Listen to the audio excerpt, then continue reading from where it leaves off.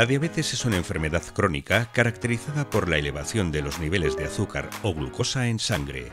Debido a una disminución en la secreción de una hormona producida por el páncreas, la insulina, que facilita la entrada de la glucosa a la célula para que se pueda transformar en energía.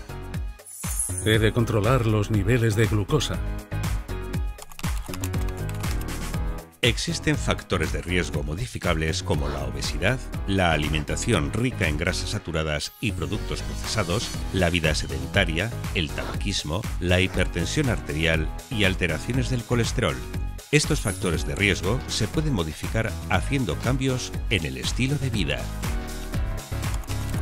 Los tipos de diabetes más frecuentes son la diabetes tipo 1, que suele aparecer en la infancia, adolescencia o adultos jóvenes, y sus síntomas son sed intensa, aumento de la orina, cansancio y apetito voraz.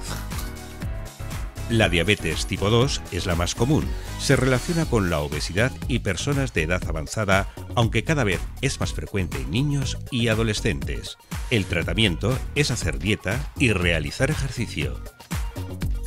La diabetes gestacional es la que aparece durante el embarazo y suele desaparecer después del parto. Existe el riesgo de desarrollar diabetes en el futuro. Tengo que cuidar mi dieta y realizar controles periódicos. Las principales complicaciones de la diabetes pueden ser agudas o crónicas.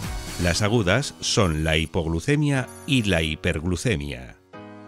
La hipoglucemia se caracteriza por un bajo nivel de glucosa en sangre, menor o igual a 50 miligramos por decilitro, y sus síntomas son hambre, sudoración, palpitaciones, temblor, debilidad, dificultad al hablar, confusión y pérdida de la conciencia.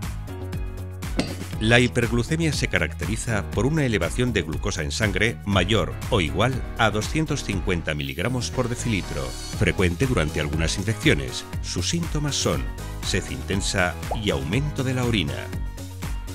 Las crónicas pueden ser macrovasculares, como la enfermedad coronaria, la enfermedad cerebrovascular, enfermedades vasculares en las piernas o microvasculares que afectan al riñón, a la vista y al sistema nervioso periférico. No me encuentro bien. Tengo mucha sed y palpitaciones. Debo visitar a mi doctor.